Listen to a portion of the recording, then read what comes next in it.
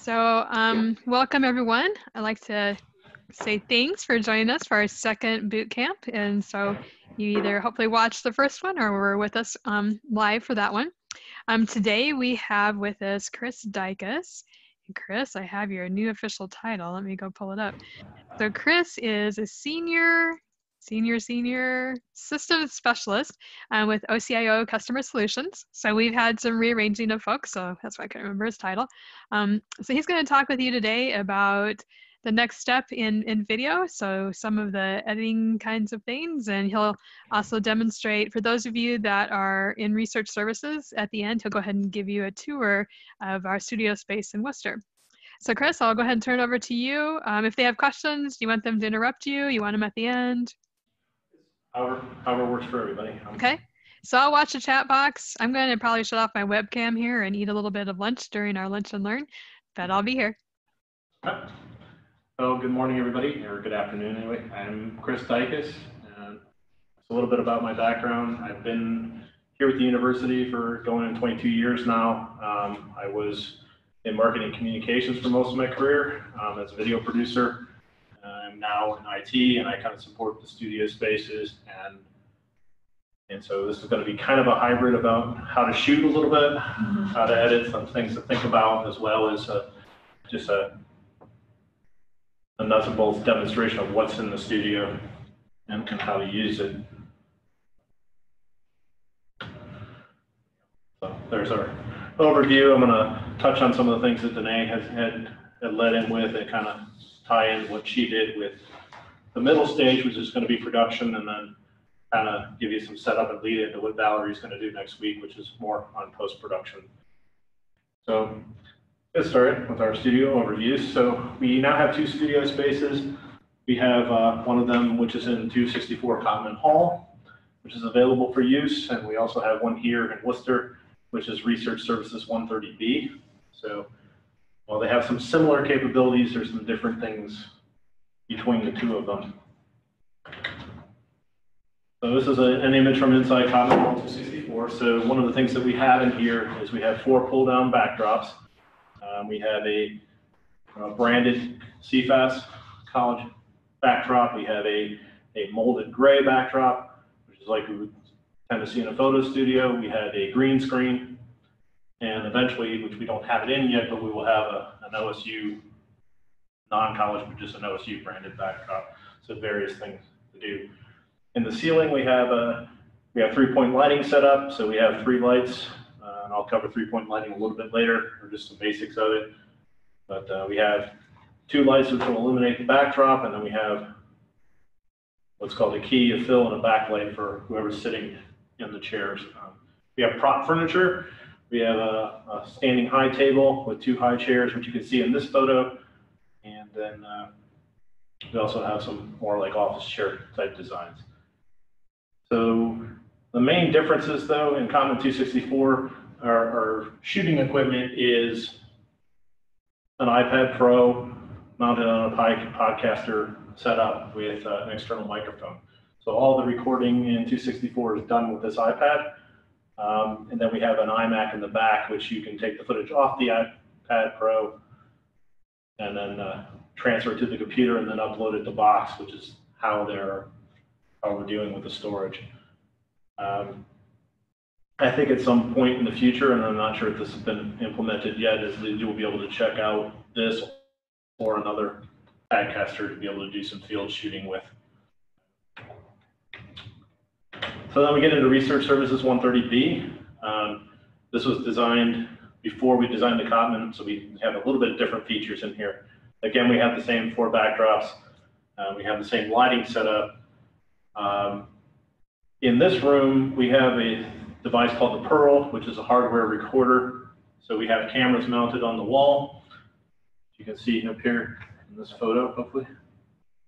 And then, uh, so basically the system, we, it was supposed to be a one-touch, but we've got it up to about a four-step recording process for you to be able to initiate your own recordings. There's two microphones, two lavalier microphones that you can put on, and so you can conduct interviews up to two people at a time currently.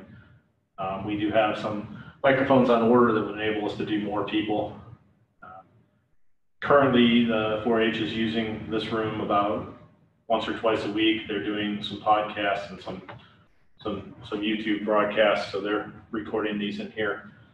Um, one of the things that 130B has that 264 does not at this time is the post-production suite. So we have a, a PC in here that, uh, got a huge amount of RAM, very good video card, and we're running the Adobe Creative Cloud Suite in here. So with our, with our new way that we use this in the colleges, now everybody at the university is entitled to two copies of Adobe Cloud. Um, you would click into the app and sign in, and so you have the whole suite available to you as a faculty and staff member. And some grad students also have this, on a case-by-case basis. So, and you, you are enabled to use this for personal use as well. So if you, you can put this on your computer at home. Um, just the the limitation is you can only be signed in two places at one time, and it will tell you if you exceeded that and ask you to sign out. But in case, if you don't want to worry about running this on your own hardware or your own laptops, we do have the, the, the machine in here to actually do this. Um, next to that, in the picture that you can see in the corner, is a, a high quality podcasting microphone with a pop screen on it. Um, so we have a little soundboard there next to the computer, so we're able to record podcasts and do things directly out of, out of this room. We have a second PC over there as well that we have this set up for lecturing, so if you want to run your PowerPoint on one screen, you can set up a situation where you can have a picture-in-picture and just record lectures, and you can record that straight out. Um, there are more advanced things that we could do with the system, but you just need to let me know what you want to do, and we can we can change some settings inside the device so we can shoot in 4K if you'd like, or higher. Um, it's just a matter, we just don't offer that in the generic setup. And so, and then again, the, the big thing about this room is what we're calling the four-step recording. So you go into the studio, for those of you that can't see the studio, um, we have a, an iPad touchpad in there. And so it will basically come up with this screen, which is whether you want to use this as basic or advanced. Basic is just basically camera, recording a camera only or recording a PowerPoint only. Um, so those are kind of the two options there. Advanced, you get this screen. So we have a single camera recording, we have a multi-camera recording, and picture-in-picture and green screen. So single camera recording is what most people use. It's just recording like a headshot or people talking. Um, picture in picture will allow you to select a second source like the PowerPoint to put up over your shoulder or in the lower corner. Green screen, the actual device in the room will actually do green screen for you. Um, it's limited in its quality based on the device that it is.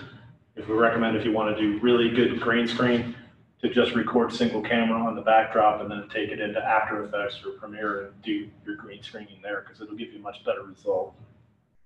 Um, multi-camera is something that we kind of set up for for video interviews. So basically what this does is you can put one camera as a close-up on one person, a second camera as a close-up on the second person, and conduct an interview, and this will record those images simultaneously. Um, this also separates the audio out so that there's audio with camera one goes with camera one, so when you're editing in post-production, you can isolate audio from one microphone over the other. And it's really the most advanced thing that we have in there. So at least at first, let me know when you guys are going to do that, and I could be there to help you run through that.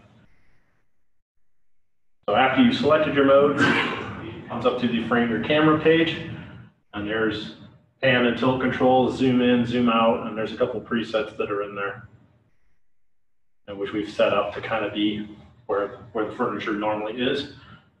Uh, you hit done, let's press to record, and then you push this button, it counts down from 10 to give you a chance to get back if you're by yourself, and it starts recording. And then when you're done, it asks you if you if you're complete. If you're complete and say you're done, it just tells you to insert your USB drive. And there's a little docking station on the top and we provide a USB drive in there. So you plug that in there and that will dump the last, your recording directly to that hard drive. And then you can take it and do what you want with it. There's a computer in there if you want to put it up on Buckeye Box. Um, the, the end goal is to have multiple hard drives in here so that we can check them out and if you want to take it back to your office and work. Um, The drive is not fast enough to edit from, so you do need to copy it somewhere. Also want to make sure we're keeping it. And we'll go through once a semester and we'll, we'll do some control because we only have limited space in there, so we want to do that. So uh, we now have the scheduling page here, which is for the studio. Um, If you guys have used this before, this used to be called ETS, which was Educational Technology Services, which no longer exists. Um, So we now, we're calling this Technology Enhanced Meeting Spaces, so CFAES TEMS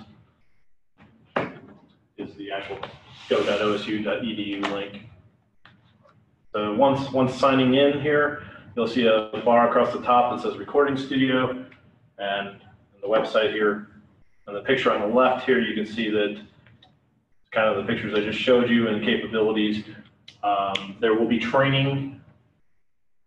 I'll probably post what we're doing here today, and I'll put that up there on my website so you guys can review what we talked about if you need to.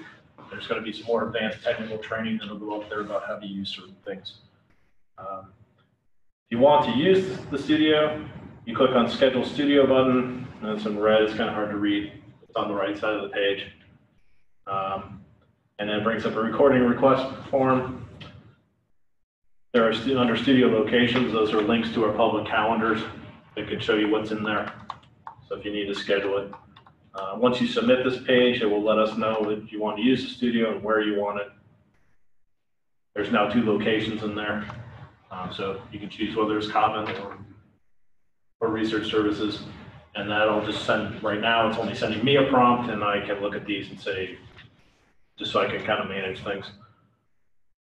We've never turned anybody down for one yet, so. But That's kind of the, the run through of the studios and the spaces that we have here. And then just maybe take a quick break right here. Does anybody have any questions about this so far?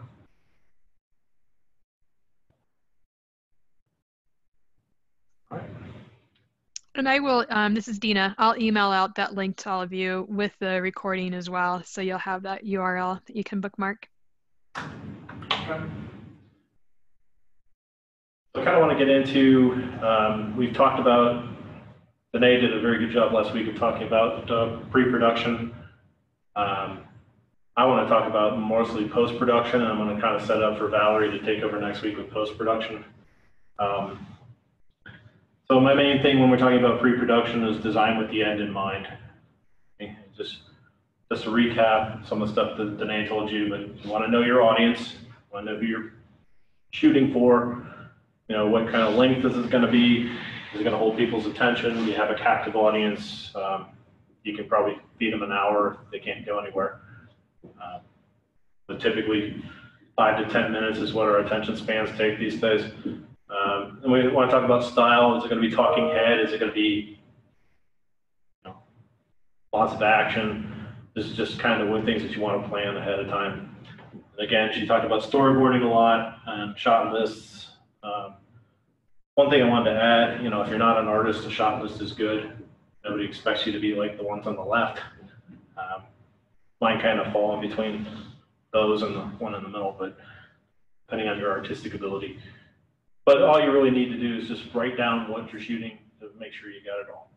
And the last thing that I put on there was coverage.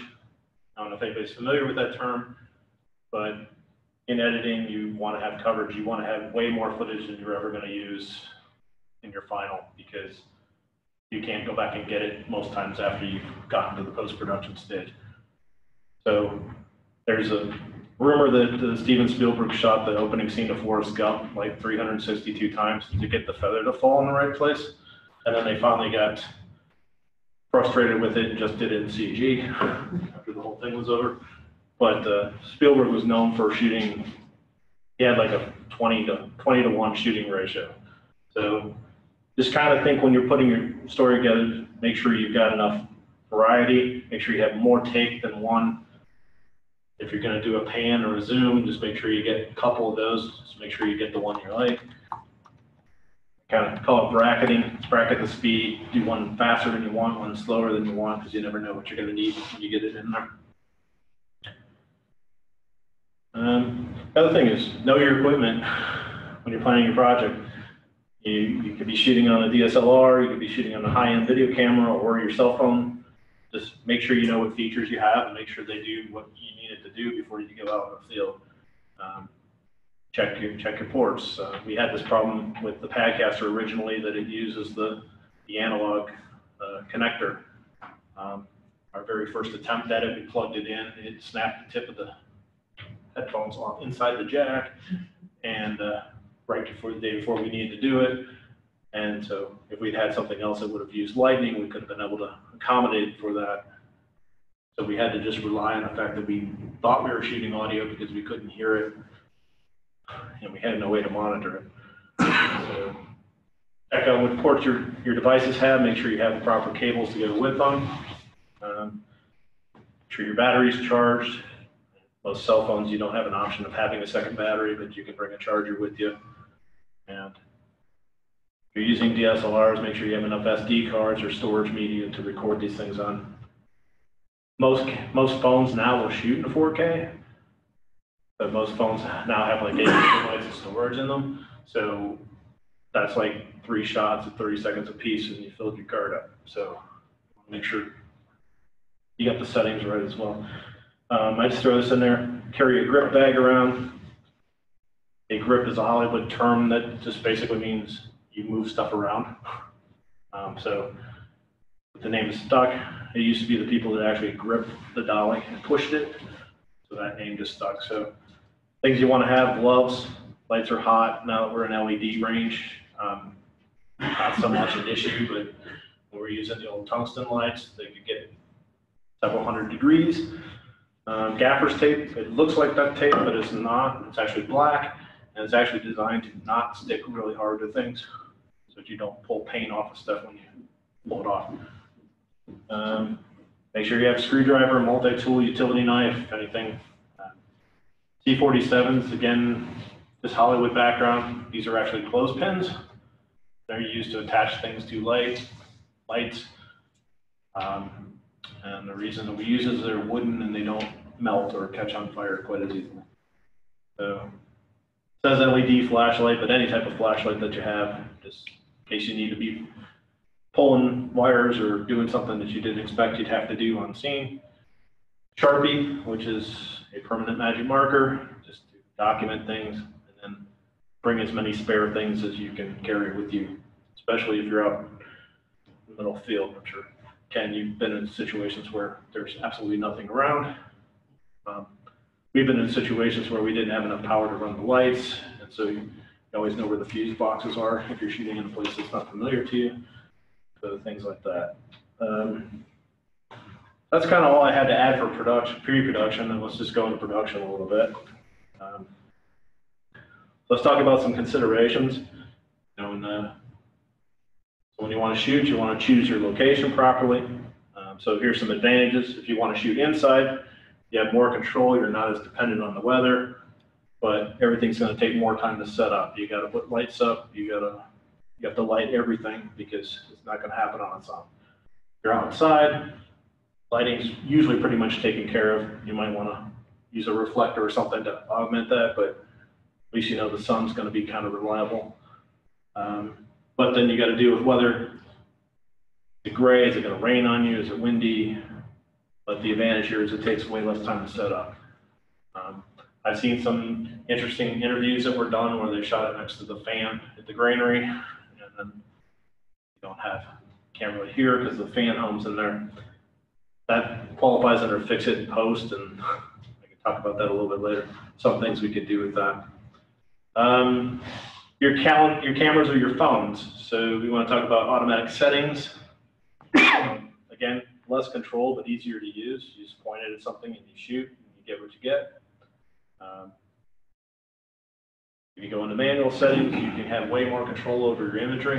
Um, I have a, I have an app on my phone, which is called Filmic Pro, which enables me to get into some very interesting settings. I can change color profiles, do autofocus, auto exposure, some stuff that my phone doesn't have normally. That was like about a $20 app. Um, but then the new version of my phone has all that stuff built in now, so things are getting tiresome. Obviously, you have a higher learning curve. You got to remember that you want to, you got to remember to focus it if you're going to take it off of autofocus. So maybe take a situation where you're shooting somebody and people are running in front of you. If you're on autofocus, it's going to keep trying to adjust that. So you might want to turn that off, but then again, you got to remember that you turned it off, and turn it back on. Um, I, I never shoot in automatic unless it's something I'm afraid I'm not going to get right away. It's like, uh, I don't know if you guys know Dave Lonas, he's down in Florida today for the SpaceX launch. And I reminded him to make sure he was an auto so he could not miss it while he's playing with the settings because he gets distracted easily. But, so, talk about shot composition a little bit. Um, we're going to talk about aspect ratio and vertical video, which is a very big pet peeve of mine. Um, so here's 16 by 9. This is what we were calling widescreen now. All television now is 16 by 9. Apple's done this lovely thing where they have 16 by 10, which kind of throws us off a little bit in certain situations, but it's usually pretty easy to accommodate for. Everything used to be 4 by 3, so the 16 by 9 is now the standard for most everything we do. And Dean, I'm going to try to play this and let's see if you let me know if we're hearing this. Meh. Yep, you're good. This video didn't have to look this way. It could have been prevented. Say no to vertical videos. Vertical videos happen when you hold your camera the wrong way. Your video will end up looking like crap. There are more and more people addicted to making vertical videos every day. It's not crack or nothing, but it's still really bad. There are two different kinds of people who are afflicted with VVS. The first group treats the videos they shoot like pictures. They don't mean any harm. They just don't understand that while you can turn a picture, you can't really turn a video. The other group is people who don't give a Vertical video syndrome is dangerous. Motion pictures have always been horizontal. Televisions are horizontal. Computer screens are horizontal. People's eyes are horizontal. We aren't built to watch vertical videos. I love vertical videos! Nobody cares about you. If this problem's left unchecked, YouTube will begin showing four videos at once, just to save bandwidth. Letterboxed vertical videos would be the size of a postage stamp. and it will spread everywhere. Movie screens have always been horizontal. If vertical videos become accepted, movie theaters will have to be tall and skinny. And all the movie theaters would have to get torn down and rebuilt. And by the time they were rebuilt, Mila Kunis would be old and ugly. And birds will crash into them and die. And we will all get stiff necks from looking up. And no one will sit in the front row ever again. And George Lucas will re release Star Wars again! The skinny edition! I was never really able to tell the story that I wanted to tell. This is a great chance for me to experiment with a new technology. You're a jerk. Every time a mobile device is used to record video, the temptation is there. Just say no. Say no to George Lucas. Say no to old Mila Kunis. Say no to vertical videos. And if you see someone doing it, say, You're not shooting that right, dummy! All right. So having said that, there, there are uses obviously for vertical video. Just kind of, uh, I'm, I'm dealing with a with a client right now about a 30 minute surgery in vertical video, and they're trying to, to edit it in a way realizing that they can't see parts of it. They probably just didn't know any better to start out with. Um, so you want to make sure it's covering. Um, if you're going to shoot a rocket launch, then vertical video might work for you because that's where all your action's happening. But just got to remember that when you're shooting it. So um, it's more it's more about uh, shot composition. So wide shots, medium shots, close-ups. We're going to talk about rule of thirds, headroom and look space. Um, so when you're trying to tell your story, I mean, wide shots are usually used as establishing shots. They can also be used to convey, you know, the whole environment around you. I don't know what my age range is here, but the Lawrence of Arabia is, is known for having extremely wide shots. Um, they're also using extremely telephoto lenses in that movie, but they were trying to establish the loneliness of the desert, so they shot a lot of it very widely. Medium shot is typically defined as head to torso, um, and they can vary in ranges. Close-up shots are typically defined as top of the head to the bottom of your head or the top of your shoulders. Um, so each one of these is going to tell a little bit different, uh, convey a little bit different of emotion. Um, so we have the rule of thirds, which basically says that uh, you divide your screen up into thirds, horizontally and vertically, uh, and that it's more pleasing to the eye if, if a something is not directly square in the middle, but on one of these third lines. Um, people kind of attribute it to the golden mean, saying that there's a there's a specific way it just looks more appealing to you. Um, if you're going to shoot an interview and the person's directing directly addressing the camera, you want to maybe not use rule of thirds and have them centered up. Typically, when we'll do interviews, we'll have somebody on that third line and they'll be looking off screen to an interviewer, which is another style that you typically see. Um, you have look space and headroom. So headroom is the top of the frame to the top of your subject. Look space is from the left, you know, where, where you're, where you're looking, how much, how much look space you have. If you cut that off, things will, people get really agitated and really kind of not realize it. It's almost a subconscious thing. You just want to have enough room. Horror movies take advantage of this quite a lot and cut off your look space and your headroom. And so your brain doesn't know what's around the person and it kind of creates a little bit of suspense. Um, you get into creative shots, you have low angle shots like we have on the left, which is kind of, uh, you know, it's making this person look extremely more important because you're looking up at them. Uh, if you do a high angle shot, you're kind of diminishing the importance of the person that you're shooting. So you want to try if you're shooting an interview, you're trying to make your client look good, you might not want to use a high angle shot like that.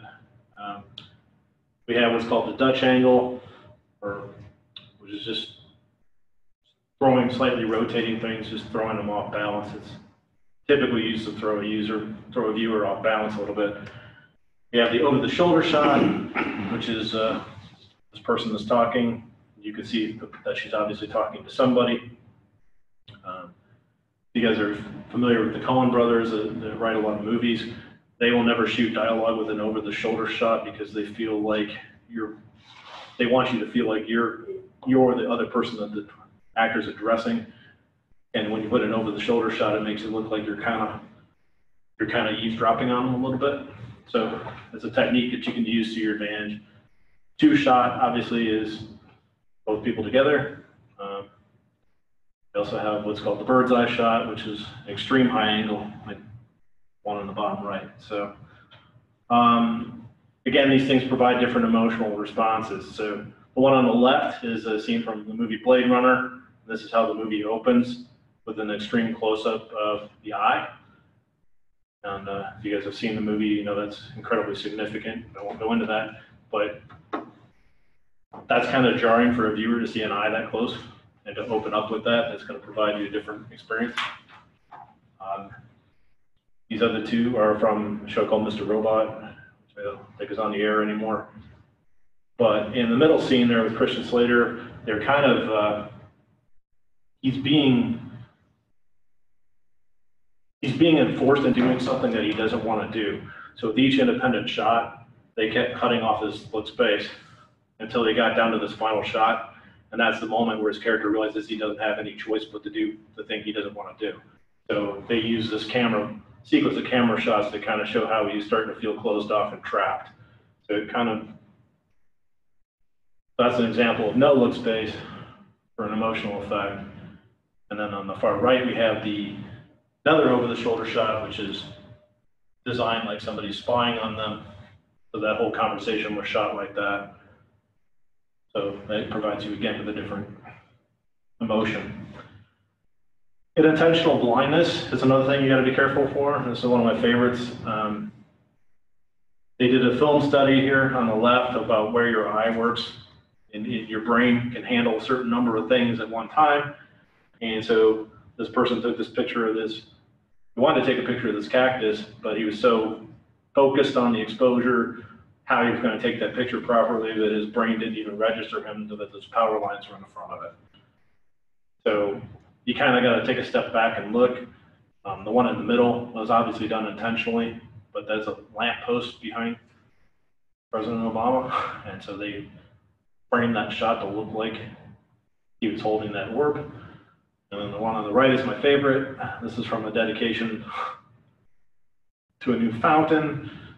And obviously the, the guy on the far right of the frame is not doing what it appears he's doing, but he just happens to be composed. So if you're if you're shooting the dean or the president of the university, you want to make sure you don't ever put them in a situation like that. Careful. Um, if you're shooting stills and you're not shooting video, one thing, a trick that somebody taught me one time is you could turn turn your camera upside down, and it forces you to forces your brain to get out of this comfort zone and actually look at the composition instead of identifying yes those are people, yes those are objects. Obviously, you can't, well, I guess you probably could do that now with video, just affect and flip it the right way, but I wouldn't recommend you shoot your entire video upside down. So camera movements are other thing. Um, I talk about pans, tilts and zooms, pan is pivoting horizontally, tilt is pivoting vertically, zoom is changing your field of view. Think of think of zoom like uh, cropping a picture in Photoshop. You're not really actually moving your camera, you're just changing how much you can see of it. Um, that contrasts with trucks, cranes, and dollies, which is actually physically moving the camera. And you can see the difference basically, I don't have time to show you all these examples, but the difference basically is you see a change in perspective. So if you're pivoting, you can still, you can't see anything different than you normally would. So I can, I can make it look like somebody's moving from the left side of the screen to the right side of the screen, but I'm not seeing a profile of the person or still seeing the same thing. If I truck the camera, if I physically move the camera left to right, the perspective changes. So it just gives you a different,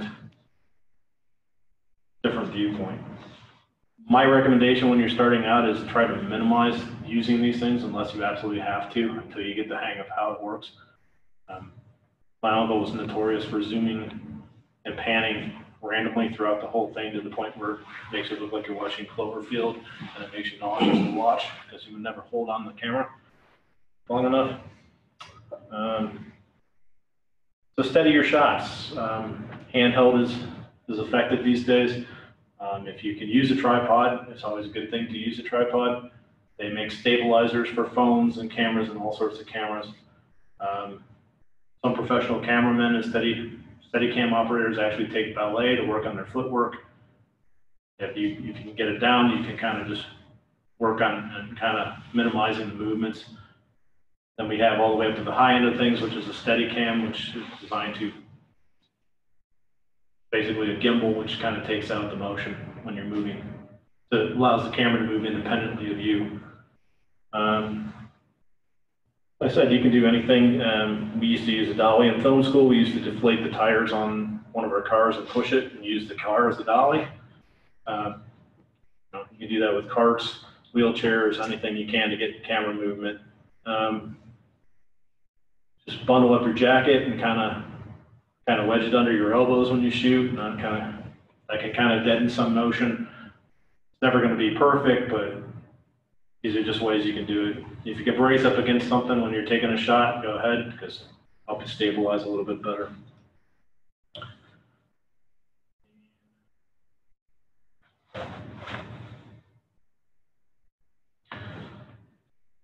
So then we cover lighting, we go, any one of these can really be an hour-long session, so I'm trying to give you as much information as I can in this time.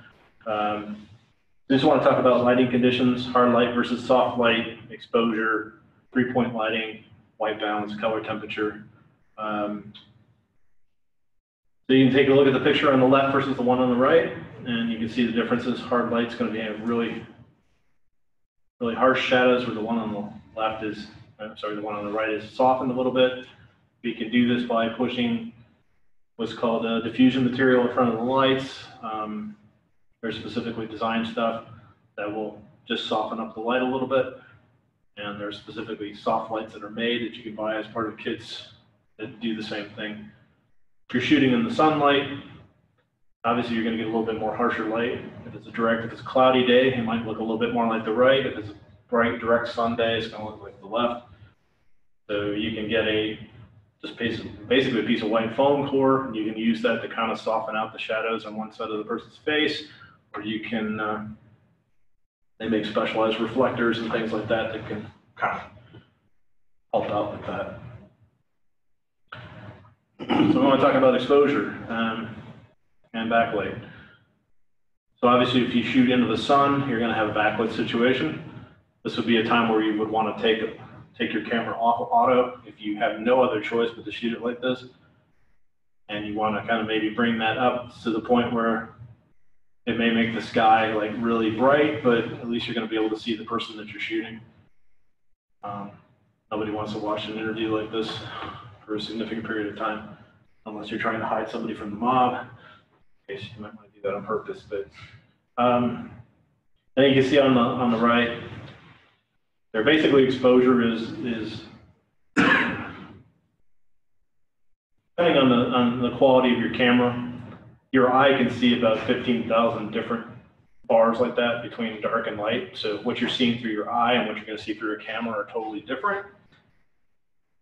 So this is a very poor camera because it's only got five stops between the darkest point and the lightest point. So, but you can see what, what happens when you start to overexpose things, when you start to underexpose things. These are some things that to a little, to a certain degree we can actually fix after we've shot them and bring them back into Photoshop or Lightroom and, and make some adjustments on them. The other thing too, if your camera has, if you're shooting stills and you have a raw feature, it's going to recapture more data than just in regular mode. So if you ever get into a situation you can shoot raw, you have way more control of your image when you get it back. But if you're just shooting on your cell phone, it's not going to be the same way. Um, so just keep in mind how your exposure works. And again, the, the auto exposure is gonna, the way the auto exposure works is it averages out all the, all the points in the screen and it tries to make everything a neutral color. So if you get into a situation one on the, like the one on the left, you're gonna wanna turn auto exposure off and try to adjust it. It may look like, may look like the last two on the right on the second photo, but at least you're going to be seeing your person better. Um, so three-point lighting, this is what we have in the studio. Basically, the, the concept here is you have a key light, which is your primary light source. And then you have a fill light, which fills in those shadows. And then you have a backlight, which separates your subject from the background. So you can see in, in the main picture there, the animated guy, that's what it looks like all together. And you can take a look at each of those three things. So key light with no fill is going to be look very harsh.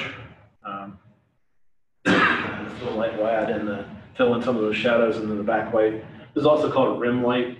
It will um, kind of just give a little halo around the person. And we talk about white balance a little bit. So white balance when you have a lot of white balance, it'll try to take all the samples of all the colors in the scene and it'll make it white. So daylight's going to be blue, indoor light, tungsten light, LED light now is going to be orange. So again, with auto white balance, this is taking care of this for you. But if you want to get into manual mode and play around with this a little bit, um, you visible light spectrum any light that you have, the, lights in here are slightly on the orangish side towards the middle, or fluorescence in here. Um, If you, if you train long enough on it, you can actually kind of see this, kind of, it's kind of something you just have to pick up by perception over just time of doing it. Um, they used to have, well, this still is, at, at sunset, the hour right before sunset's called golden hour. So back in the early days of film, people used to shoot the, the warm, fuzzy, happy shots. They would always try to shoot them into that hour. Um, so it's like, now we can kind of do that digitally, but before, so as the sun sets, things get more orange. So a fan of the Star Wars trilogy, Empire Strikes Back, any Imperial scene they would shoot during the day when they had blue light, and any Rebel scene they would shoot towards the evening when they would have warmer light. And they kind of did that as a subtlety to, these are the bad guys, they're harsh, these are the good guys, they're warm. So all that stuff kind of plays into what you're trying to do. I realize for most of our, most of our thought is more about content than it is about the creative side of it, but, you know, keeping these things in mind where you're doing it will produce a better product. So then we have audio. Um, um, I forget who said it now, but somebody said that if, if you have a bad picture and good audio, you can tolerate that way longer than having a good picture and bad audio. Um, if all you hear is, is the whining fan in the background and you can't make out what your subject is saying, people are going to notice that. We have different types of mics. Okay, so lavalier is what we normally call the clip-on one. That's what you're going to wear sometimes for interviews. We have handheld mics, which like they use on the TV news. Um, and wireless mics or wired mics. Um, wireless is good in the fact that you don't have to be right up you could be monitoring the audio from farther away. I do remember a shoot that I was on where we had to set up underneath power lines and the wireless microphone just all just picked up the hum from that. Because we didn't have enough cables to get the person where they needed to get. We just kind of had to play around with that. So lavaliers have a very tight pickup pattern, so they're going to try to it's going to try to filter out outside noises whereas a handheld might- might pick up sound from all directions. So if you have a choice, there's also something called a shotgun mic, which is a very narrow pickup pattern, so it's going to only pick up what you're pointing at. And it has things called rejection ports on the side, which will get rid of the sound coming from behind you or from the sides. It's very good. If you're going to shoot, uh, the, the microphone that we have at the Padcaster down in Columbus is, uh, is a shotgun mic, so it's designed to just focus on where you're pointing it typically, if you can do an interview, if you, if you do have a lavalier mic, that's usually the best because it's going to be right up to their voice. Um, Where you put the microphone, obviously, is very important. You want to make sure you get it as close to there. It's actually the place that you're supposed to put a microphone is kind of, you're supposed to aim it kind of from the bottom lip down to the top of the chest because most of your projection's coming out of this area. So that's typically a pro tip of where you want to put it. Um, with a lavalier mic, you want to make sure you got the cable taped down so it doesn't rustle when you move it. Shooting on the built-in camera microphone on your phone and the person's like 10 feet away from you, not going to give you as good a result as, as it would if you have an external microphone. Um, windscreens. This is designed as a little piece of foam that goes over top of the mic and it's just designed to cut out some of the wind noise. They make things that look like, like shag carpet down to just little pieces of thin foam, depending on what you need for the situation. Um, if you can, try to set up your shot where, where the microphone's in front of the person and the wind's coming from behind them. I know you don't always have control over that, but that will cut down on wind noise and your, probably your first consideration would be to make sure that they're lit. If you're shooting outside, to make sure the sun's in the right place according to your subject. And then your second biggest consideration would probably be where you can put your microphone. Um, I threw in a pro tip here, it's called room tone. If we're shooting in this room, I'm quiet for a second, you can hear the sound of this room, the fans blowing, whatever, whatever's happening in here, even though you may not hear it. So if you're going to have to edit an audio, edit audio and cut out pieces, you're gonna wanna make sure that you have recorded what the room sounds like with nobody talking, so you can fill in those gaps when you're editing. Um, It's very, the human brain really notices when there's absolutely no sound, and most of our day, not, our brain's filtering out the background noises, but when you get into the realm of television, video production, if it's dead silent, it will be noticeable. So again, room tone will fill in those gaps and allow you to do that. Um, Getting towards the end here, um, so just a little bit about post-production. No, we didn't. So if you've never heard this, fix it in post, um, the term is said a lot. Um, if you're using the Adobe Creative Cloud Suite, uh, we have some couple things like Warp Stabilizer. Uh, you can run your shot on this if you're doing handheld and it's all over the place. You can run Warp Stabilizer on it and it will smooth out the motion and kind of make it look as good as it can. Not 100% perfect, but it will do that. Um, color correction, we can we can change the tones of rooms. If you shot something and it looks blue and you want it to look orange, you can you can manipulate that in Adobe Premiere and After Effects and things like that. Um, one of the things that I, I saw that Danae had mentioned last week is you want to make sure your visual flow of things. So if you're starting out and somebody's moving from left to right and your middle shot's moving right to left, that might cause a little bit of confusion. So you can use video effects to kind of flip the shot.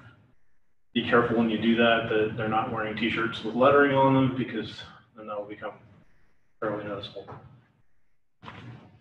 If you look on the, uh, the movie DVD box for Top Gun, they thought Tom Cruise had a better slide and they flipped the shot. The only problem is Top Gun spelled backwards on the bottom of it. I don't know if anybody ever notices that, but that kind of made it to print. So that comes into unintentional blindness where you're not paying attention because you're thinking about something else. Um, Adobe Audition has some tools in it called noise reduction. Um, again, these work okay. There's situations where they work really great, and there's situations where they make you sound like you're sitting inside of a tin can or something like that. So it's kind of basically what it does is it allows you to capture a moment of silence, and it uses that to determine what it sounds like when nothing's happening, and it sucks those frequencies out and just leaves you with what the difference is. But you can adjust how much of that you want to mix in and how much did you want to do. So you just have to find the right balance with that. Um, Audition also has something where you can look at the spectral frequency layout.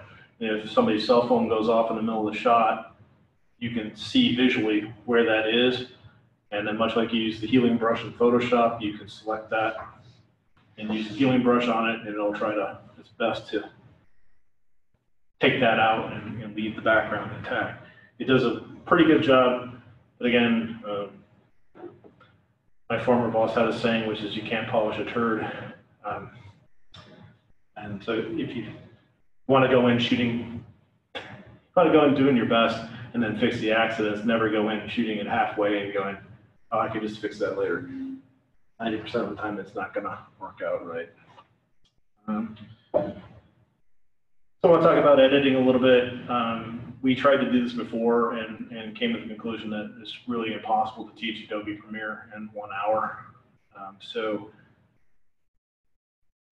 I'd like to do some maybe some more classes on that later if anybody is interested in that. But this basically want to talk about editing as a concept. There's a couple things that we're trying to do. All right, so we can edit, we can correct for length. You know, if something's too long, you just chop the end of it off or maybe you get too much in the beginning, you know, just changing the length of the clip, just tightening it up. You want to, if you're doing an interview, you want to maybe make it start like a second before the person starts talking and just cut out all the talking that's around it. Um, you can actually, with, with Premiere, and we've done this before, is you can, you can trim ums and sentences out. You can kind of make somebody in an interview say basically what you want them to say if you just edit it correctly. But if you're if you do that, you want to make sure you have enough what we call B-roll, which is cover footage, to go over top of that. Otherwise, the person's going to be jumping all over the place and it'll look strange. Um, I've had a person that that didn't want to be interviewed and they would just give us yes or no answers. And then when the camera was turned off, they would actually talk.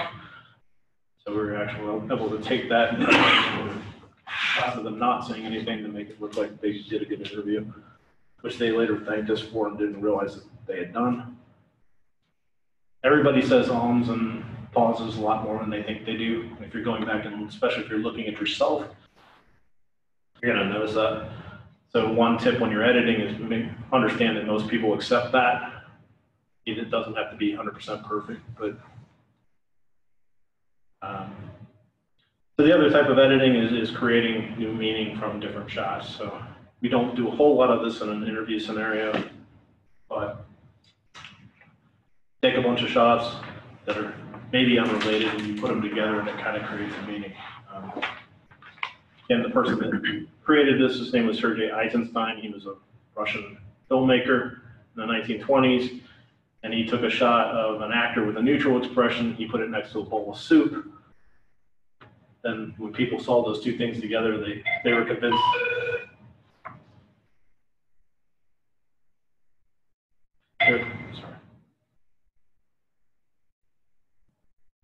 They were actually convinced that the actor was hungry. Um, so it's just, you can kind of do that. I mean, You just want to make sure your B-roll goes with what people are talking about. That would be the situation that we would use here. You can fudge it a little bit and people won't notice. Um, the other thing is cutting on action. Um, it's kind of hard to demonstrate really easily, but basically if a person's walking and they're taking a step and they're raising their hips, they're moving, and if you were to cut from a wide shot where you can see their feet down to a medium shot, you want to try to time your shots so that when you made your cut, you want to make sure the person's in the same position that they would be as if they were actually taking the step, because then it kind of looks, it looks off. But the best editing they say you can do is one that people don't notice. So it's kind of hard to do. This is a tough one to explain just on the video in this situation, but maybe we could do something later when we could demonstrate that. And finally, the last thing with editing is start, start broad and, and refine. Um, they have a policy which is called a rough cut, which basically you take your best takes and you lay them all together. You don't trim them at all, but you just put them all together and say, this is my layout. And once you have your story from start to finish, then you go back through and you adjust in and out points to make, make it flow so it's seamless. Again, this is a whole, it's probably a 10 week course on how to do that properly, but um, we'll do it. So when you're using Adobe Premiere or Movie Maker or any program, these are all typically timeline based. So you have a timeline, you take resources, you drag them through the timeline, you manipulate them, and then you put out a, a final product. With Adobe and, and most of these, they're non-destructive. So if you take your footage and you import your footage, you make an edit, you're not touching your original clip. So it gives you more freedom to experiment. Uh, so basically all Premiere is doing is, is telling you, is telling the computer where to start pointing to that file, where to stop pointing to that file. So you're never actually, when I was in college, we edited on film. So we had one print of our film. So if we cut an extra frame off, that was it. We had to tape it back on or you had to start over. Uh, when we got into linear video, once you made where that endpoint was, if you wanted to change that, you'd have to change everything from that point on. So the thing about editing on a computer is all nonlinear. You can you can work in the middle. You can decide to work on the end. Uh, but that's basically the essence of that. Really all I had for today. So if anybody has any questions, happy to take them. Chris, we've got one in the comments area um, from Yvette asking if we are making. I'm hearing you, Dina. Do you see it? Yeah, I'm hearing you now. Okay. Oh, okay, so we've got a question from Yvette. Um, she's asking if we are making training videos for staff and want to have them available for future use, what platform do you recommend? Um, anyone that works for you. I know it's not, I guess you want to hear. Um, the, the advantages of Adobe Premiere or as a, as a faculty or staff member of Ohio State, you have it available to you. Um, it's not an easy learning curve for Adobe Premiere. Um, Movie Maker on, on the iPad and on, on the Mac is actually probably the the easiest one to learn. Then again, if you want to start doing some more advanced stuff, start to run in a little bit of trouble with that. So I guess it would, I've, I've always been an Adobe person, but then again, I'm have a film background, so I like having all those features. If I were just starting out and was just doing something simple, I would probably use like iMovie or something along those lines. Chris, we've got a follow-up question from Valerie along those lines. Do you know if faculty and staff have the ability to get Adobe Rush for free? I would have to check. I mean, you can go to the Creative Cloud app that you have, and uh, if it's there, then yeah. I, I think it's there. I doubt Okay, yeah, it, it is one of the things that you can install. And Adobe Rush is actually, I haven't had a chance to play around with it too much, but it is, it's, it's an Adobe product, but it's way simpler than, than Premiere. I think I've heard Danae talk about it. Valerie, have you used it yet?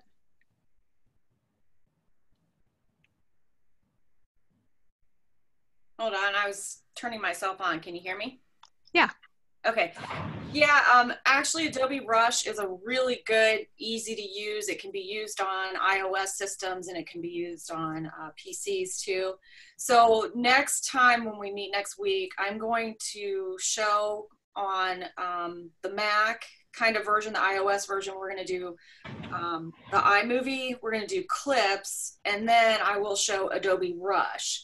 So for next week, you guys could could do me a favor, uh, get some video, whether it's on your cell phone or it's on your you know um, your iPad or on your your desktop, and then depending on what type of computer you have, if you can try to get Adobe Rush at least. Um, I am actually going to teach from my iPad, and I have clips, and I have iMovie, and I have Adobe Rush on my iPad. So if you guys, since we're going to be editing, um, that would be great if you guys could get some video uh, before uh, next week. And Valerie, Amy asked a question. Do you know, um, I'm guessing Amy, this is about Adobe Rush. Does it require Windows 10? Yeah, Amy, I believe it does. Okay. So you you might also want to contact IT to have your Windows updated.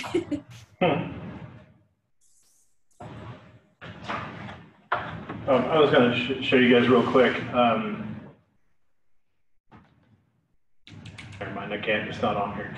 So if you guys have had your computers updated recently, um, you'll see an Adobe Creative Cloud app showing up on your desktop. Um, if you can't, if you don't have that, you, you should have something on your PC called Portal Manager. You just search for that, and that will allow you to install the Adobe Creative Cloud app. Again, it will work okay. Adobe will work on Windows 7. It's not ideal. Um, but you do not need IT to come and install those for you. If you're doing them through the Adobe Creative Cloud app, all you have to do is click on the install button. That will negate the need to call us for admin access or anything like that. You can install any part of the Adobe suite without needing us to help you. We will if you ask us, but Good. uh, are you done? All right, another one um, from Yvette. Are we able to edit, I'm guessing, our training videos uh, or, or post, but are we able to post our training videos on Carmen or is there a better place to house videos? That's a good question. I don't know a whole lot about the Carmen platform itself. I would Yeah. assume that any place that you can generate a link to, you could do it. I know, I know people do.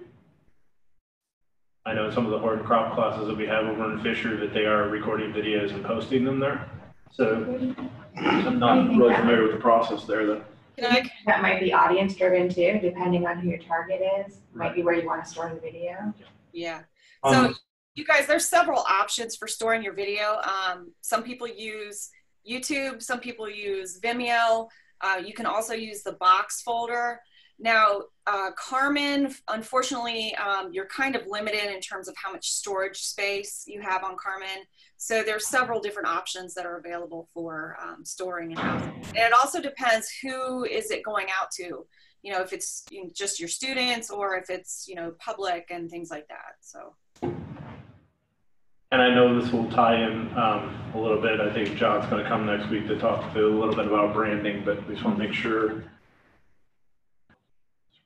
You can search Ohio State branding, and you can search CFAES branding, and it will take you to at least what the guidelines are for those. Um, I think you need to have permission to be able to download some of those resources, but John will have more on that. The other thing I was going to add too, it's really important to put um, captioning for ADA accessibility as well. So we've got some options for that too. Valerie, are you going to talk about that next week or should we mention Yeah, it I'm going to talk a little bit about it because um, a couple of the programs have it within it. Um, and Amy did put on their Mediasite. So Mediasite is the authorized uh, tool from uh, Ohio State. Um, that's also the hosting options. Uh, it just depends on, you know, what you prefer and, and, you know, who you're sending it out to. Within the college as well, we do have, if you guys have TechSmith Relay accounts, I think we still have a few of those floating around. That's another option, just doing some, some quick recording and editing. So Yvette, if you want to, you know, talk to one of us, that'd be fine. We can kind of see what you've got and then the options that are best suited for your situation.